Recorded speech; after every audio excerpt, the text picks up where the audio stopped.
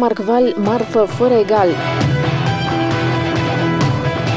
Reparăm, vindem, aducem și la comandă pe toată zona de vest echipament de aer condiționat casnic și industrial, frigidere, congelatoare și vitrine frigorifice. Vindem, montăm și reparăm aparate de aer condiționat casnice și industriale cu garanție și post-garanție. Montăm și în regim de urgență. Apelați la noi cu încredere.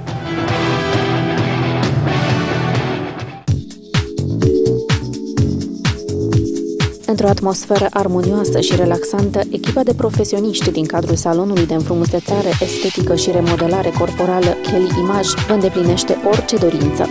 Kelly Image, un salon intim, elegant și confortabil, vă pune în valoare calitățile naturale prin servicii și produse profesionale. Vă așteptăm cu servicii complete de coafură, frizerie, manicură, pedicură, cosmetică, make-up, solar clasic și organic, saună, tratamente corporale, masaje, tratamente cu ultrasunete și vânzare de produse profesionale. Pe toate le găsești la Kelly Image, salonul viselor tale.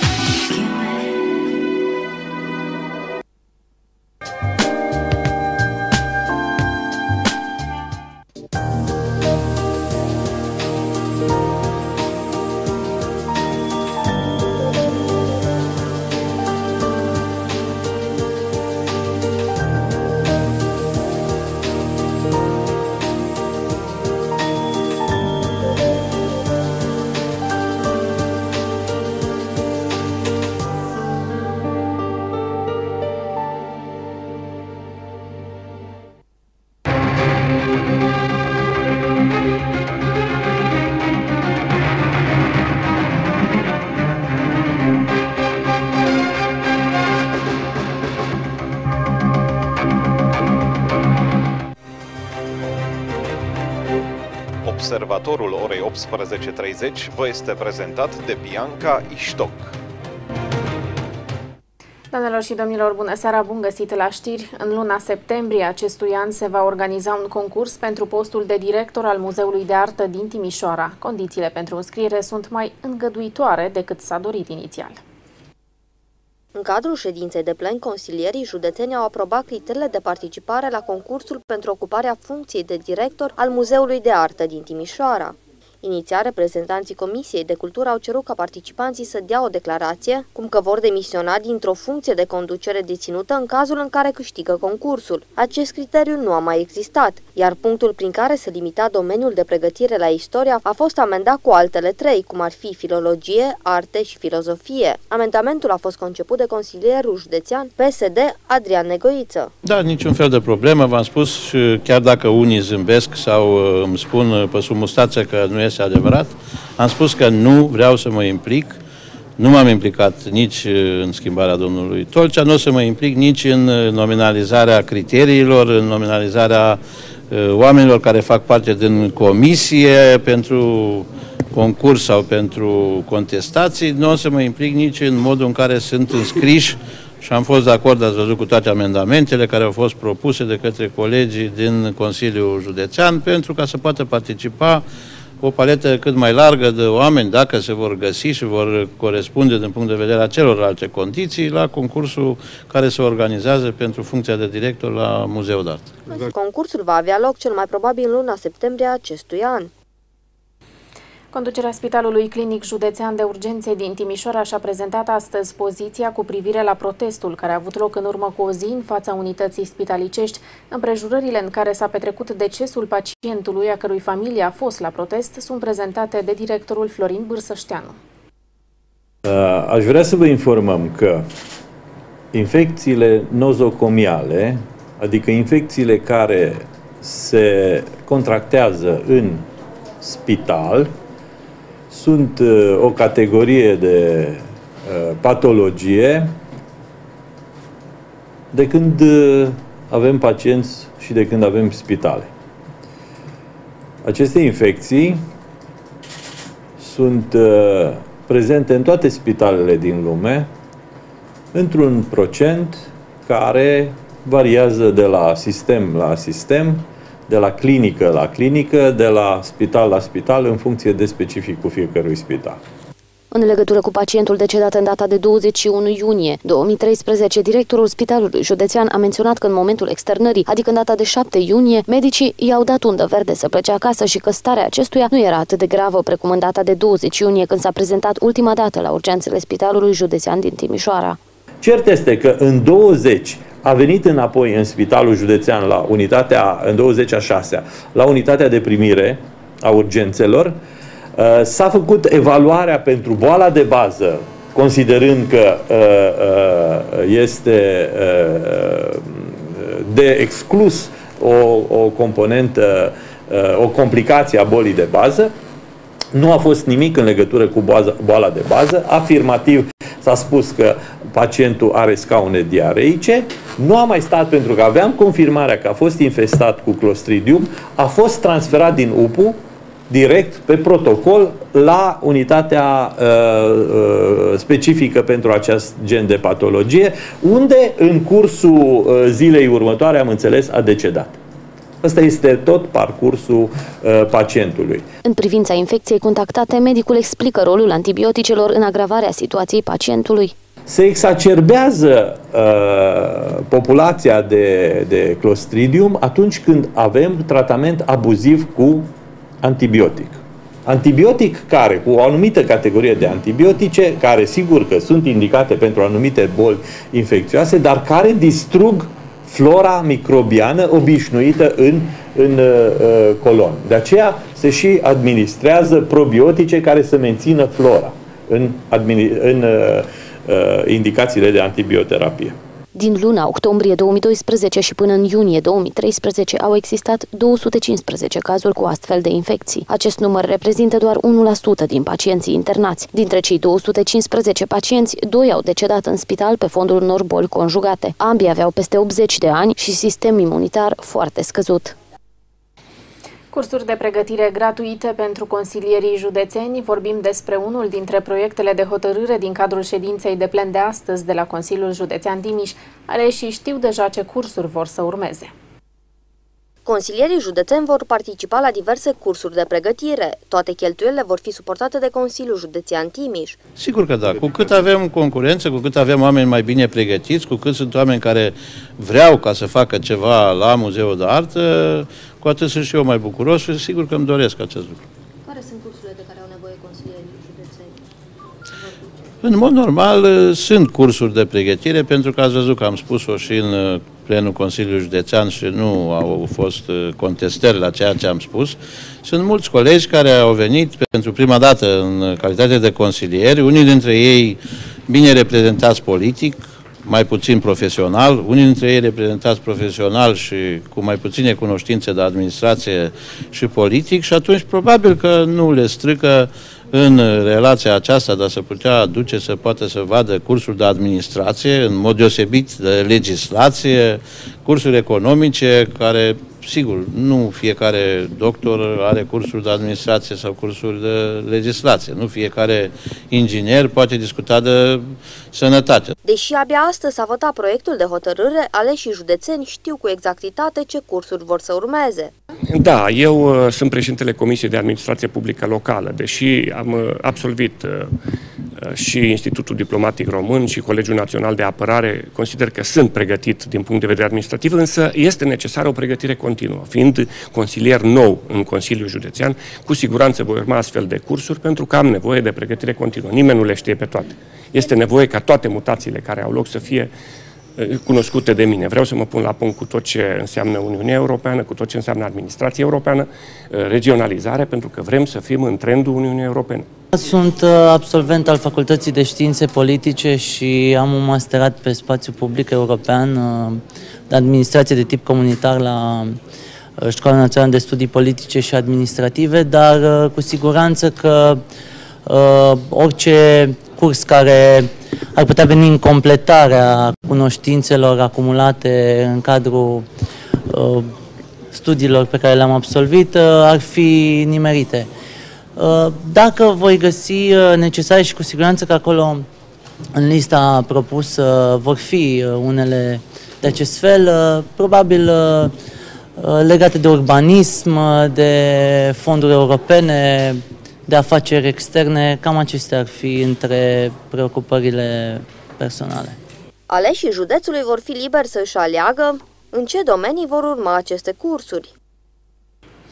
Unul dintre cele mai importante proiecte ale Consiliului Local Timișoara a fost lansat astăzi. Este vorba despre un proiect de promovare a principalelor activități culturale din oraș. Valoarea totală a fost de 400.000 de lei.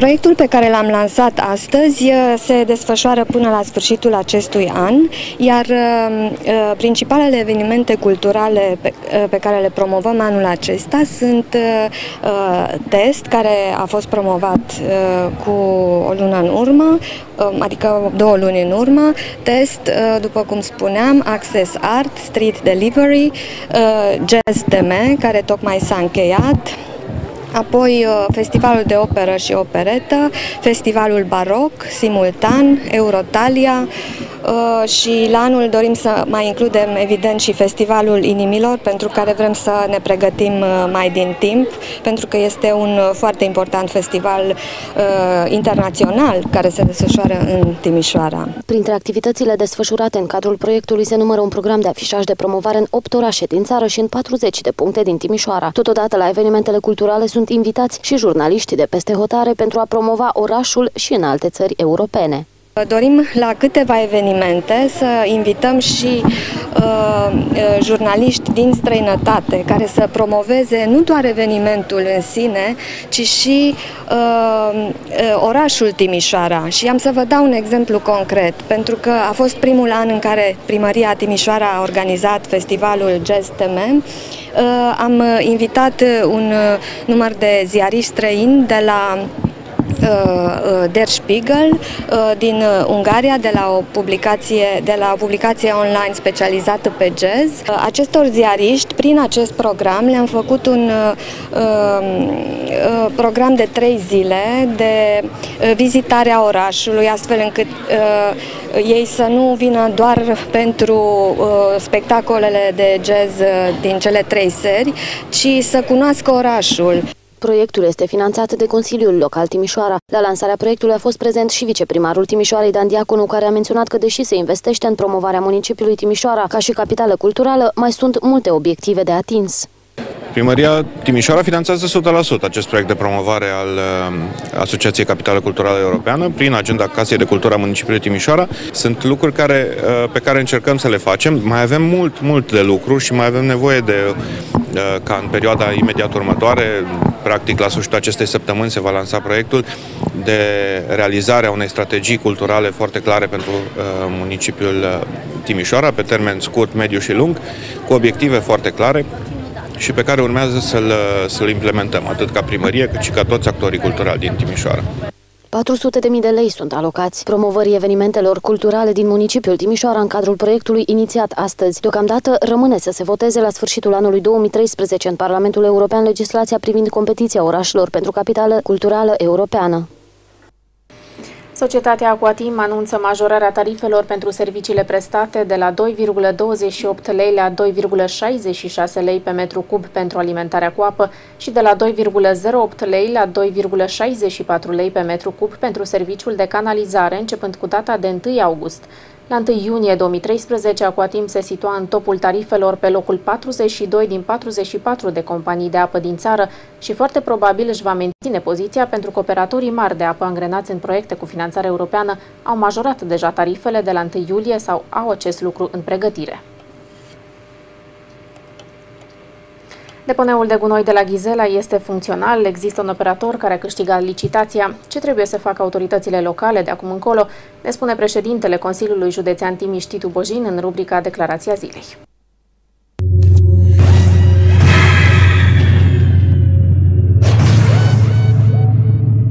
Restul prin contractul care îl avem noi de redevență sau suma de care trebuie plătite către Consiliul Județean este calculată la o anumită cantitate de deșeuri care ar trebui să se depoziteze zilnic, săptămânal, lunar, anual în deponeul de la Ghizela. Sigur că și-au permis unii operatori pe perioada aceasta cât n-a funcționat în condiții, să zicem, la parametri normali, deponeul de la Ghizela, ca să mai ducă gunoaiele și în alte depozite clandestine sau în fostele depozite care nu au fost închise. La ora actuală s-a câștigat licitația, se discută despre realizarea depozitelor de tranzit al deșeurilor în localitățile în care se închid gropile și gropile se vor închide în perioada imediat următoare și în condiția asta nu mai există decât funcționarea deponeului la Ghiziela. Deci aici era discuția dacă sunt uh, vinovați cei de la Salprest că nu s-au dus cantitățile de gunoi calculate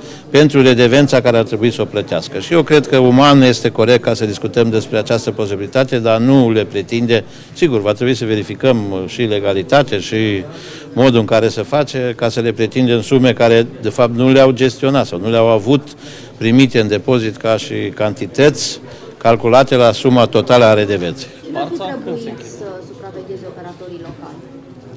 În acest uh, moment, sigur că Retimu are tot ceea ce înseamnă operare în tot județul și posibilitatea ca să vadă ce cantități vin. Sunt celelalte instituții ale statului, începând cu Consiliul Județean, cu Uh, instituțiile de mediu, gardă de mediu, agențiile de mediu, care să vadă dacă se depozitează în alte locuri decât cel autorizat, respectiv la depozitul de deșeuri de la Ghizela. Deci sunt uh, instituții abilitate care vor avea posibilitatea să controleze și de aici înainte nu se mai pune problema. Din punct de vedere al gropilor, eu zic că până la sfârșitul anului, începutul anului viitor, vor fi închise toate, inclusiv parța, și putem sigur discuta atunci de un singur loc de depozitare oficializat,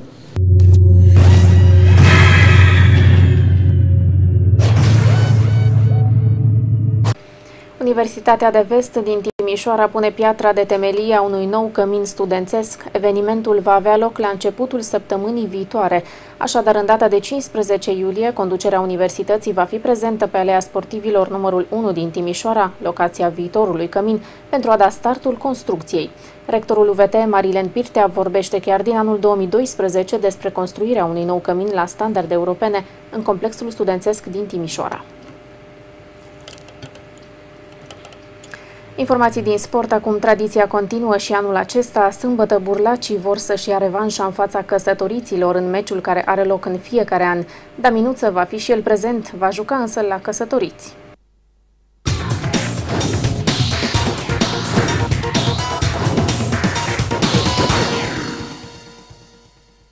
Sâmbătă de la ora 17 va avea loc tradiționalul meci dintre căsătoriți și necăsătoriți la stadionul Electrica. Daminuță, frații Rotariu și Paul Codrea vor juca și ei în echipa căsătoriților. Anul trecut, jucătorii cu Verighet au câștigat partida. Tradiția se respectă încă din anul 1936. Această tradiție se dispută din anul 1936, este unică ca tradiție în România la propunerea unor cetățeni ai cartierului Fabric în 1936 s-a intitulat primul meci Vlașca, Mișc, Vlașca Mică, Vlașca Mare.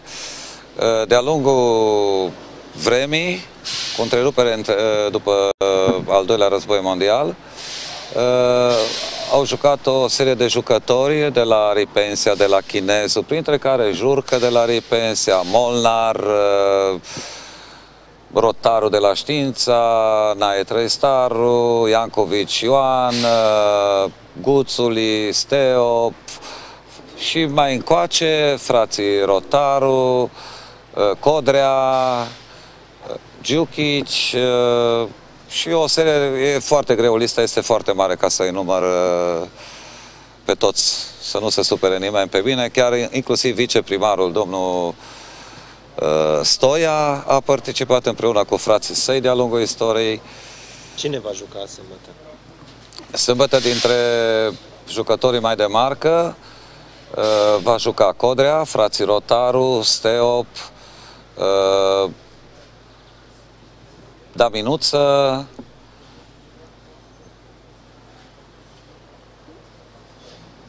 Cam Cam da, rezonanțe. Guțuli, Iancovici, uh, fost jucători de la UMT, lista este foarte mare, de la UMT, de la CFR, de la Știința Timișoara, de la Poli, All Boys-ul, se va disputa prima repriză de 30 de minute, va fi All Boys, după care se va disputa meciul cel mare, care este într-adevăr fără niciun fel de... se joacă pe cinstite, uh, două reprize a 30 de minute. Cum e tradiția? Cine pierde? Cine pierde, uh, la banchet, primește un morcov ornat, pe care trebuie să-l uh, guste împreună cu pierzătorii.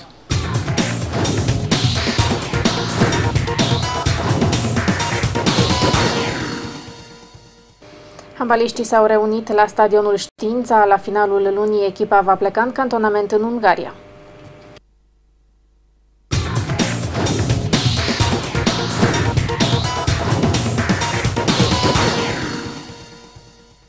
Handbaliștii de la CSU s-au reunit după o bine meritată vacanță. Primul antrenament al handbaliștilor de la Politehnica Timișoara s-a desfășurat pe terenul Știința, unde alvioleții se vor acomoda cu efortul după vacanța de vară. Bănățenii au și un alt antrenor, pe Constantin Ștefan. La reunire a fost prezenți 15 jucători, inclusiv cei transferați pe parcursul acestei veri. Sunt așteptați în zilele următoare un jucător ucrainean și unul rus.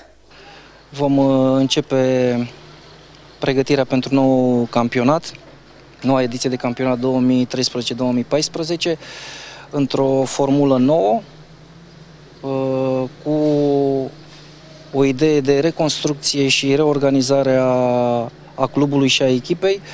Uh, sper ca uh, jucătorii pe care i-am transferat și cei care au rămas la echipă să facă o simbioză cât mai bună și sper ca în timp cât mai scurt să putem să creăm relații de joc și să putem să facem o simbioză în, în jocul pe care mi-l doresc la echipă și nu pot să le urez jucătorilor cât la fel bun veni și spor la, la treabă.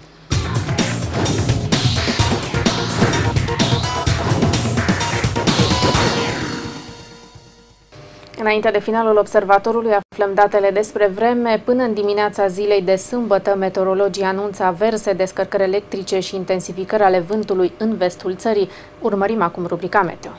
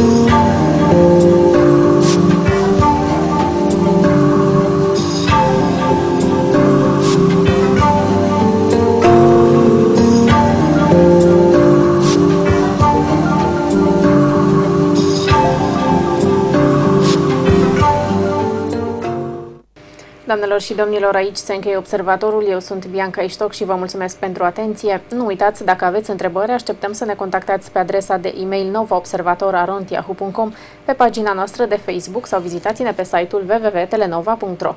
O seară cât mai frumoasă. Pe curând!